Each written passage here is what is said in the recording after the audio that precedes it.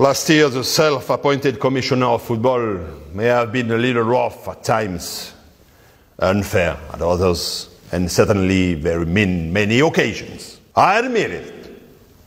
And I am not necessarily proud of it. So, my main resolution for 2017 is to not change a thing. Happy New Year!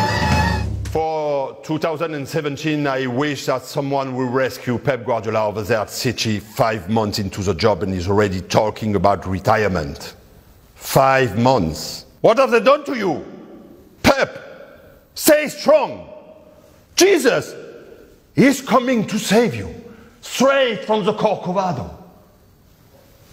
Oh, maybe you should try to have sex after midnight.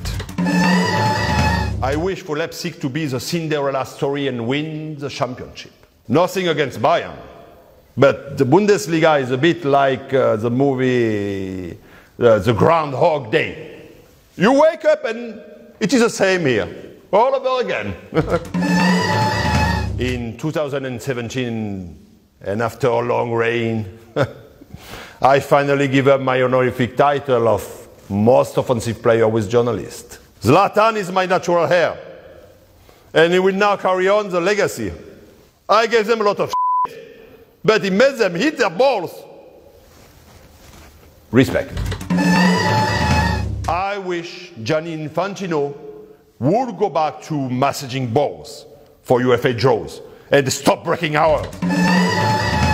In 2017, I would advise Leicester to clone N'Golo Kante. It's the last resort.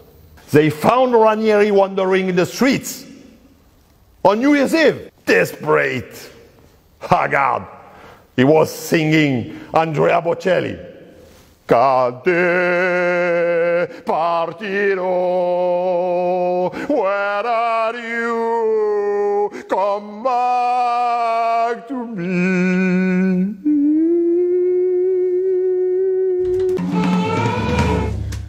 Why, why do you always disagree with me? I tell you, you can play great with a hangover. Look at Giroud on USD. He scored a donkey kick, a scorpion kick. Don't tell me he wasn't drunk. Come on. because if he wasn't, he would never have made it. Never.